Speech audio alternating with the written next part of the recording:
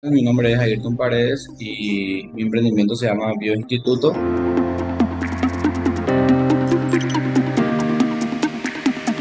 Nos encargamos de ofrecer cursos técnicos modulares de idiomas y de, informática.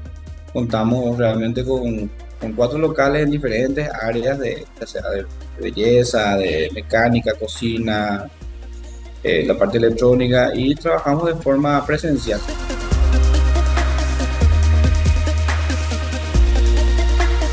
Lo que más a mí me, motivó y que me, gustó sobre más digitales fue justamente la, capacitación.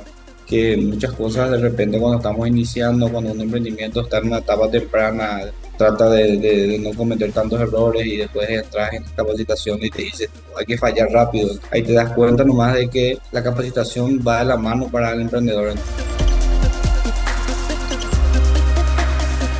El servicio que nosotros apostamos en, primer lugar fue la implementación de un sistema web, ¿verdad? sistema de registro. Sería básicamente una página web en la cual nosotros podemos controlar todo el movimiento, el registro de alumnos y obviamente tener un, servidor para poder cargar nuestros videos porque lo estamos enfocados en ofrecer videocursos.